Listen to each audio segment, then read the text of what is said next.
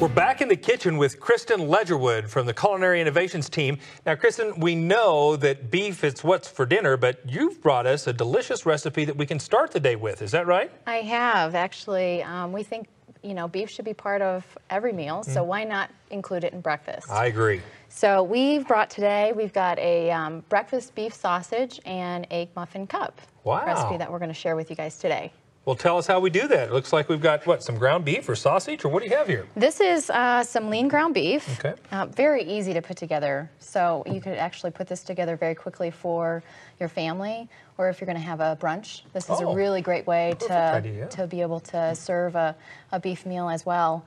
Um, very quickly. So, um, so like I said, lean uh, lean ground beef is what we're going to start off with. Sure. And to make our breakfast sausage, we've got a few spices. Okay. So we have some rub sage. Okay. Okay. We have uh, garlic powder. Oh, yeah. Okay. It's always good Add a little flavor. We have onion powder, Yes. some kosher salt, Sure. Yep. And a little heat. We've got some crushed red pepper Uh, in here. or a lot of heat. Let's Depending on what that. you like. I like if that. you like a lot of heat, then you could probably double it, I'm sure. So, and like. I said, very easy. We're just going to go ahead and mix this all together until it's uh, nice and Yeah, combined. it's amazing because I've never I've never thought of making sausage on the spot, right? I mean, we Right, make our own German sausage and things like that, but this is great. And a lot of people don't think of beef as an option for sausage. Right. So this is a really great way to do that. So, Yeah. so we're just gonna, like I said, just mix this up nice and thoroughly. Okay. We're gonna put it in a skillet, a warm skillet um, Ah. on the stove. We're gonna cook it to 165 until Yep. it's nice and um, well done. Okay. And then um, we're gonna add some green chilies and some um, shredded cheese. Ah, some So- more heat. So it looks like you've already done that. We did. Um, so we mixed that together in with the um, drained ground beef. Okay. And then we just portioned it out within a 12 muffin tin. okay. Very quick and easy.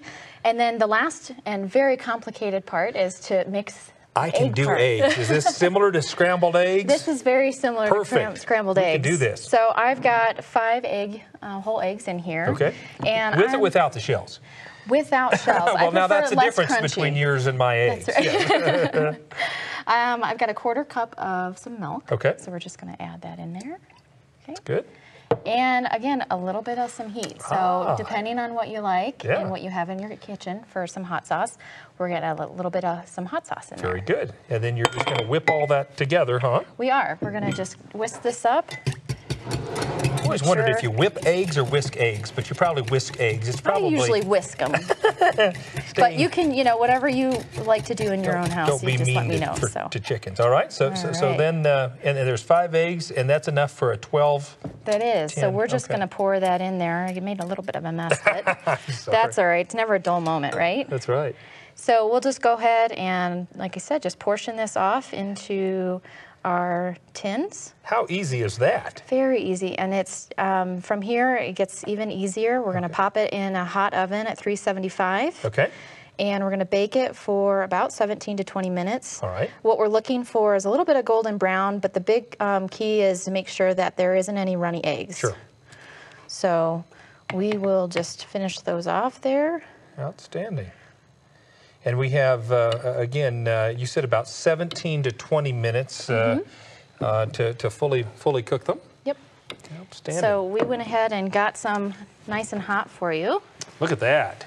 So we'll pull those out, and you can see Look at that. Nice that these are nice and golden brown, That and that they delicious. are not runny at all. So Well, and this is our final uh, our, our, final effort here. Uh, serve Yep. them with a little uh, salsa and I suppose fruit or whatever else you want to serve them whatever with. you'd like, depending on what your morning feels like. Well, So this is a great way to enjoy beef at the beginning of your day for breakfast. Thank you so much for coming to the show. You're very welcome. Thank you for having me.